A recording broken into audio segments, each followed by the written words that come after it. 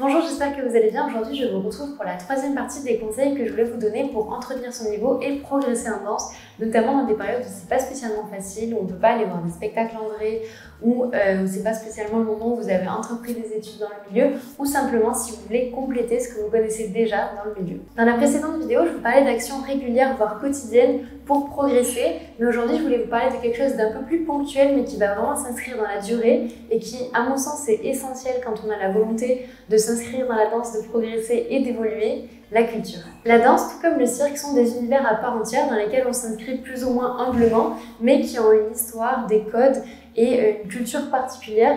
Les interroger, les regarder, euh, les comprendre et les apprendre, c'est une partie de la vie de chaque artiste. Parce qu'on prend consciemment ou inconsciemment une place dans ce monde qui a du sens et que, euh, selon moi, plus on a de connaissances dans le milieu dans lequel on veut s'inscrire, plus on a le choix de la place qu'on veut y tenir. Alors aujourd'hui, je voulais vous donner des outils pour approfondir votre culture en danse depuis chez vous sur Internet. Si vous ne les avez pas déjà vus sur la chaîne, il y a pas mal de vidéos qui vont vous permettre de questionner, euh, penser et découvrir euh, les arts du cirque et de la danse. Je vous en mets quelques-unes, notamment en histoire. Et si ça vous intéresse, n'hésitez pas à aller voir en description. Souvent, je mets les sources que j'ai utilisées pour construire mon propos. Il y a différents types de médias. N'hésitez pas à aller voir un peu tout ce qui se fait, puis d'aller approfondir dans ce qui vous parle le plus. Vous ne pourrez pas de toute façon tout lire, tout regarder, tout écouter. Ce n'est pas possible, mais en faire un peu, c'est déjà beaucoup. Alors pour commencer de façon un peu classique, vous pouvez lire sur la danse. Alors il y a des articles sur internet, mais des livres, des romans, euh, des interviews, des biographies, des autobiographies, euh, mais aussi tout simplement des articles de recherche. Et du coup pour ça, dans le cadre de mes études universitaires,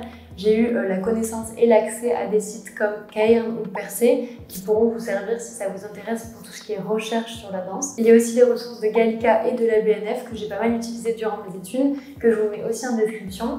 Et en parlant d'université, il y a l'université Paris 8 qui a une branche dans la danse et euh, qui a un site qui est euh, pour le moment pas très bien fait mais qui est plein de ressources extrêmement riches.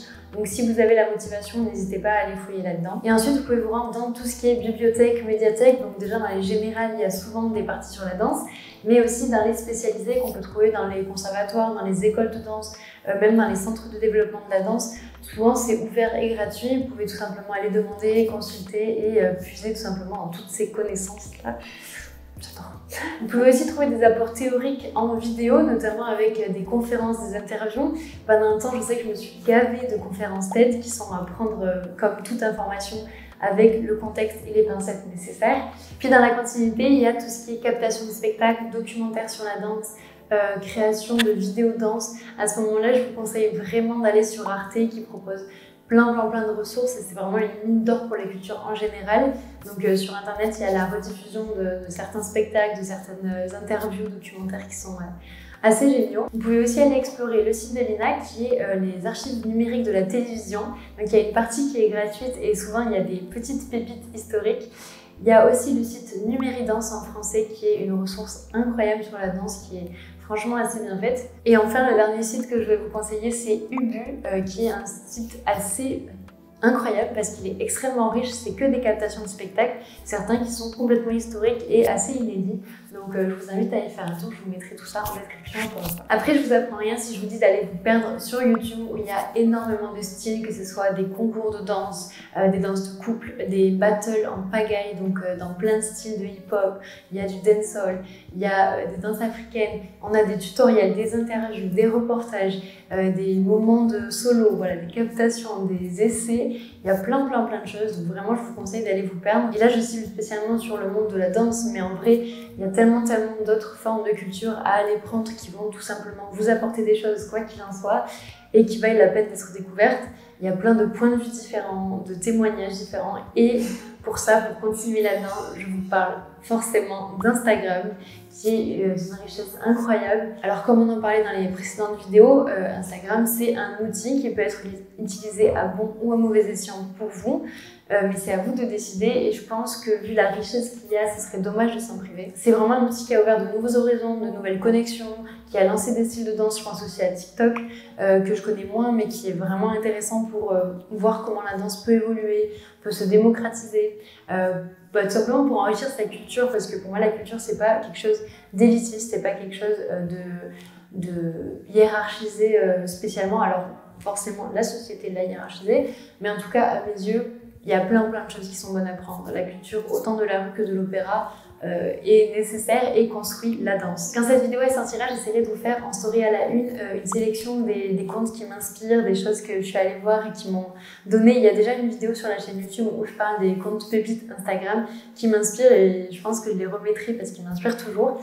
Euh, mais ouais, quelques autres comptes qui peuvent, euh, voilà, qui moi, je me suis dit, j'aime vraiment ça. Bon là, on est beaucoup sur le visuel, mais c'est hyper important pour un danseur à mes yeux d'avoir une culture musicale, d'avoir une culture sonore. J'ai envie d'élargir à ce stade-là. Et euh, ça peut être à travers les vibrations pour les personnes qui sont sourdes, parce que selon moi, c'est pas euh, le niveau d'audition qui fait l'écoute. Et avoir une culture musicale, ça s'étend à euh, tous les gens qui ont envie d'en avoir une. Et en tant que personne qui crée du mouvement sur de la musique, ça me semble essentiel aussi. Je peux que vous encourager à vous faire une culture musicale au même titre qu'une culture dansée. À ce moment-là, c'est toujours se perdre sur YouTube, mais aussi sur FanCloud, sur Deezer, sur Spotify. Allez voir, écouter la radio de temps en temps vous pouvez demander à des gens autour de vous de vous donner des musiques, essayer de partager, d'être curieux. S'il y a un artiste que vous aimez bien, n'hésitez pas à écouter son album, ses albums, son ancien travail, à découvrir un style de musique, son histoire, bref.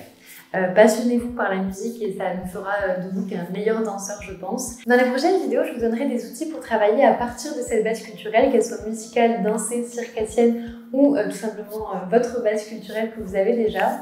En tout cas, n'hésitez pas du coup à vous abonner si vous voulez voir les vidéos qui arrivent et soutenir le projet. Vous pouvez me faire savoir si la vidéo vous a plu et n'hésitez pas en commentaire à mettre euh, vos bases culturelles, vos pistes de recherche, comme ça ben, on en apprend tous et euh, j'espère pouvoir en découvrir. Merci d'avance pour ça, merci d'avoir passé ce moment avec moi et je vous souhaite de passer une très très belle journée.